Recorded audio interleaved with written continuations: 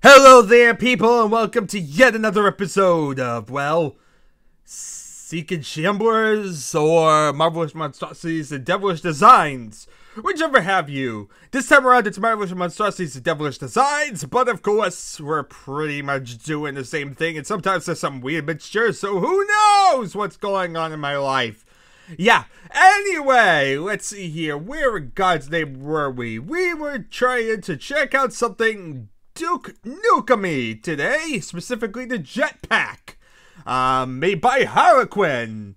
Uh, yeah, so basically this is version 1.1, but yeah, basically it just fixes a minor bug whereby, um, jetpacks would work underwater. Um, so basically he thought it was a bad enough error to fix with a new version. Otherwise, yeah, there's really no difference whatsoever. Okay. Operating system supported, anything that can run Quake. Amazing. Okay, so how does it work? It's a new power-up, a jetpack, kind of just like Duke Nukem 3D, you know? Um, jetpacks can be placed on maps as items in their own right, or they can replace biosuits in existing maps. Oh, okay, so it's actually um, a custom power-up. And yeah, it's basically going to be something that's replacing, um, uh, basically a biosuit. So, yeah, okay, let's see here. So then jetpacks let you fly, obviously, and have a neat hover mode so you can rain death on unsuspected ground pounders. Has an intuitive interface. He never played Duke Nukem 3D, so he doesn't know actually what it's like. So he just knows that it has a jetpack. Okay, let's see here. How do we use it? Because I thought it was just going to be a mod, but apparently it's going to be actually a custom item. Um, yeah, it's basically made for 1.06, has lots of bug fixes, blah, blah, blah. Um, yeah, let's see here. Have to pick up, basically, they basically replace where biosuits are. Okay, so you can fly by pressing and holding down jump after you're already in the air. Um, essentially like a double jump. You'll fly at approximately running speed in the direction you're facing. Hover mode, which is always on, means that you cannot sink while thrusting with a jetpack. This allows you to aim downwards or sideways without leaving the air, so you can shoot people below you. If you wish to drop, let go of the jump button.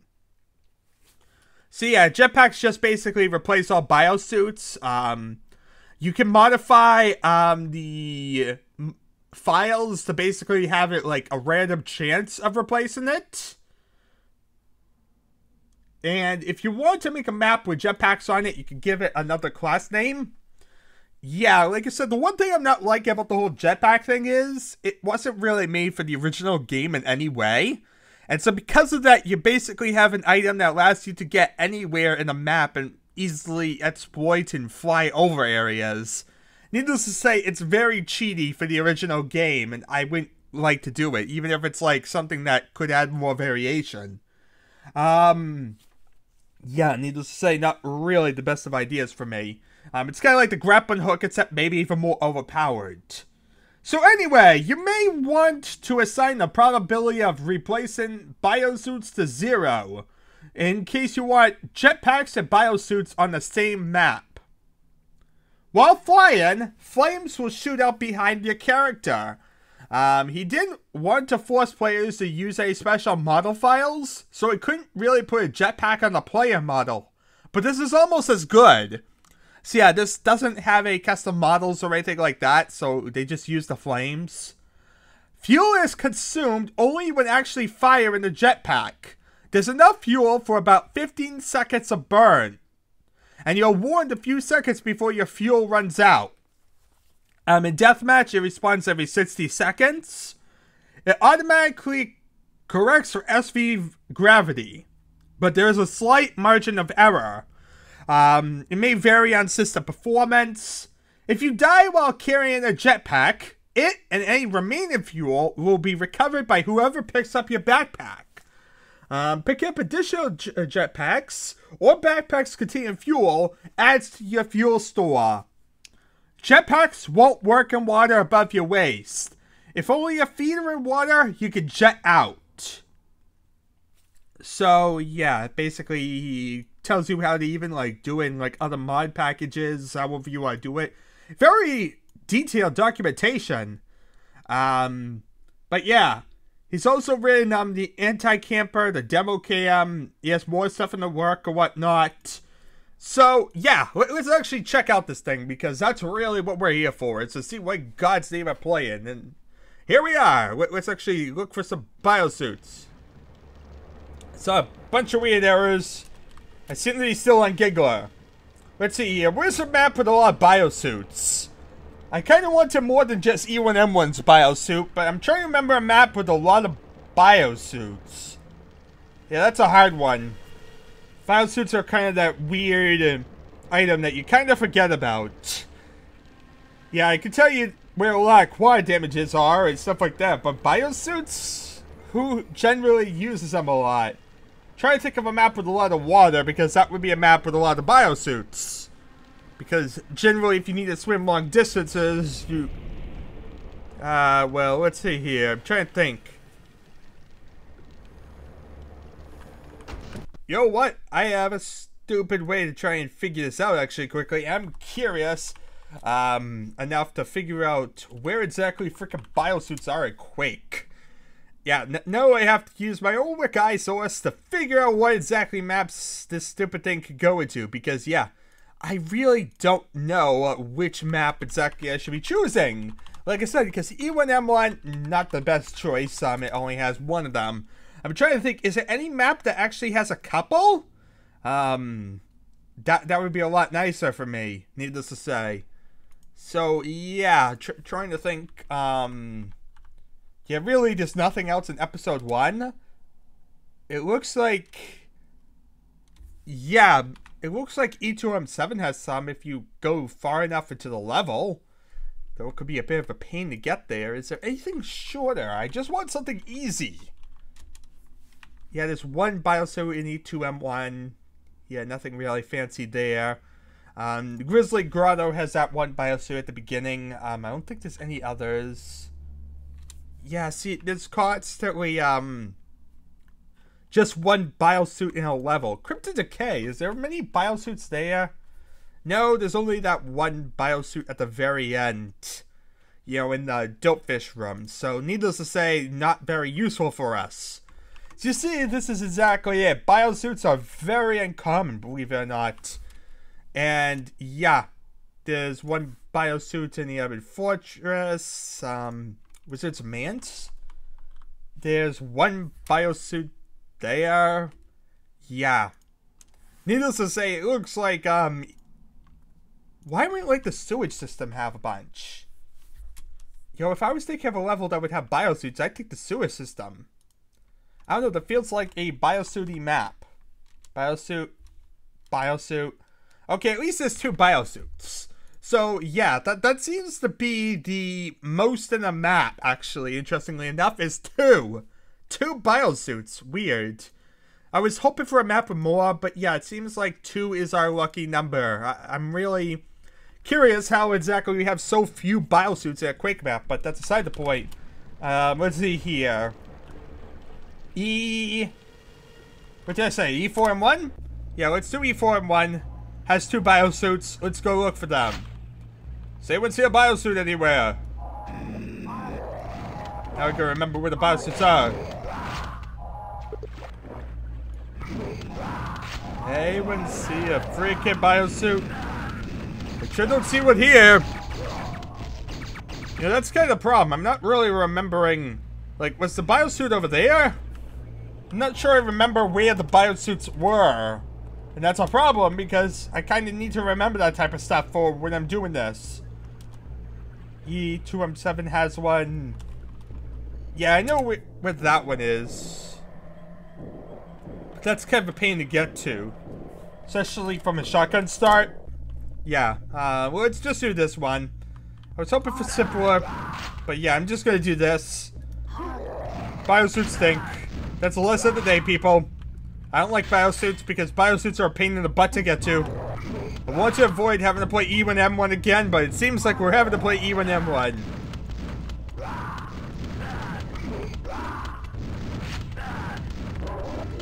Yeah, so let's see. We gotta, like, get there. Yeah, so few freaking biosuits. Like, there's barely any in episode 1. You go through the whole of episode 1, and there's actually... Why didn't I do E1M4? I just realized. E1M4 has a good biosuit. I'm sorry, I'm so scatterbrained. I was... Biosuit thing just kind of messed me all up. I could just kill these guys, that way actually I'm not being murdered when I'm trying to head out there and look at the biosuit for two seconds. Let's leave them up there so that way they're kind of stuck. They won't be able to pursue me as long as I'm down here. Let's see. There's the biosuit. Looks like a backpack. Okay, pick it up. We got the jetpack. Let's see, we jump.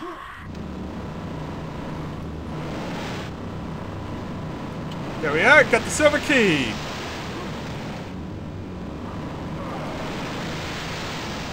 So you see, it's loud as heck. As you see, it's very much, um... Very noisy. Okay, let's do this again. Ship Jetpack my way to victory!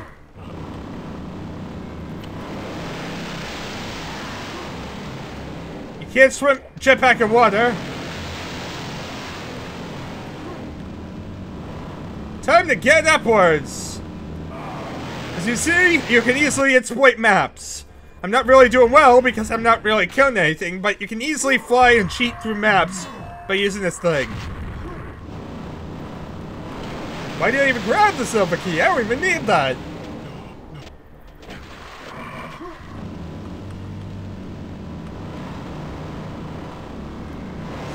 Me! You see, the ogres are gonna be the problem at the end. Let's see here. We I wanna beat with them. Oh look at that, it's on the fire.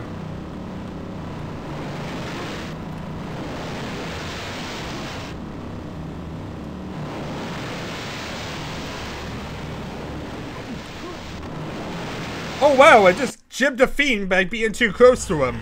Apparently there's some damage involved when you, like, fly close to it with um, a jetpack. Apparently when you're out of the water or whatnot, you can still jetpack somewhat.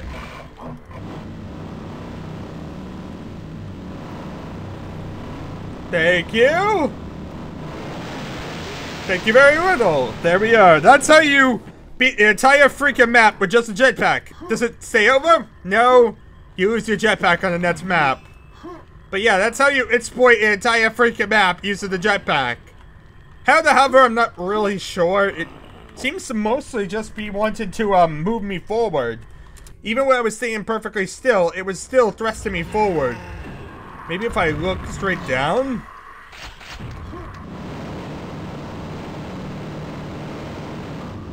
Yeah, see, it's based on where you're looking. As you see, if I'm looking forward, it's doing that. I let go, it'll drop. Up we go! Straight we go, up we go, down we go. You see, that's basically how it works. Get more used to the controls. So we drop down here.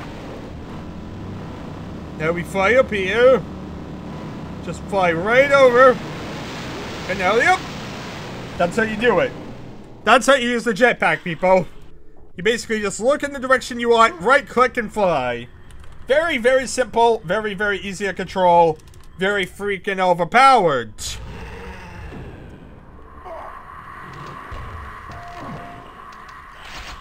Let's try for a more interesting thing. Let's try and get the secret way open.